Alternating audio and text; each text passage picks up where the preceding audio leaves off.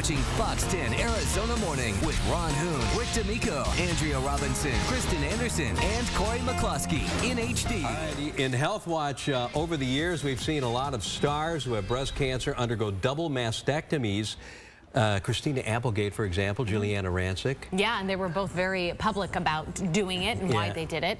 A new study, though, suggests removing a lump may be more effective than removing the entire breast. Celeste Rodriguez is live with reaction from a lo local breast cancer specialist. Hey, Celeste. Hey guys, yeah, good morning to you and good morning everyone. Really important, I think, with this study because a mastectomy, I think, can affect women in such an emotional way. We have Dr. Robert Kuske here, and he's going to show us um, some visuals here and how to, you know, what this study means and what we can all take from it. So thank you for being here with us. Would it show us here what this, uh, what you were going to show us here? Well, this is a very important message. It used to be thought that removing the entire breast would give better results. And I think when women get stunned with the diagnosis of breast cancer, their immediate reaction is get that cancerous breast off. But what this study shows is removing the lump that's the cancerous the one right there that you're pointing right at. here.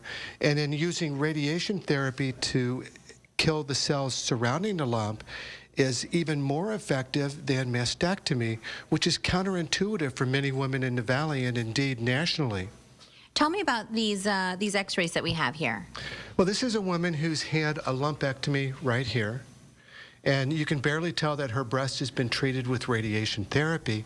So the woman maintains her breast and the sensitivity of the breast, and the survival rates in this study were 20% higher with a lumpectomy than mastectomy. This breast right here is actually the same breast, but from a different angle. Correct. Here is the spot where the cancer was removed, and you can really barely see where it was taken out.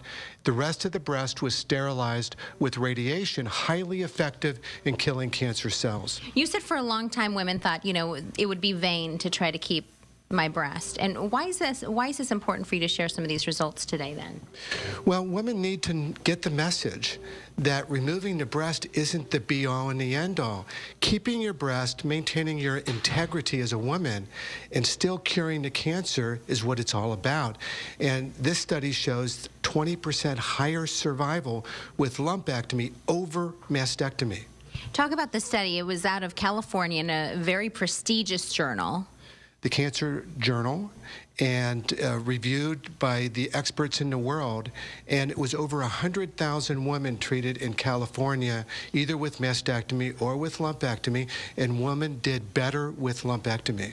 You know, what we were talking about earlier, guys, as well, is that how important it is maybe to talk to your doctor, but that you said doctors also need to be educated on this because a lot of women may just take the advice of their doctor and say, you know, I'm going to have a mastectomy.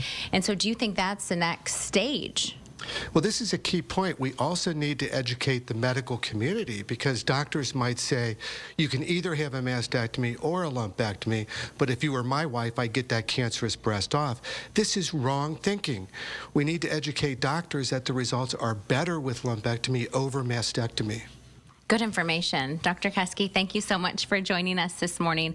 Guys, I think just uh, very crucial and I think very important for a lot of women out there who are going through this and kind of thinking, what should I do? Should it be a lumpectomy? Should it be a mastectomy? And, and how do I kind of keep my integrity as a woman? That's Yeah, really great information, yes. though. But what a, what a decision to have to be faced with, yes. you know? Thank you, Celeste. Appreciate that. Celeste, thank you.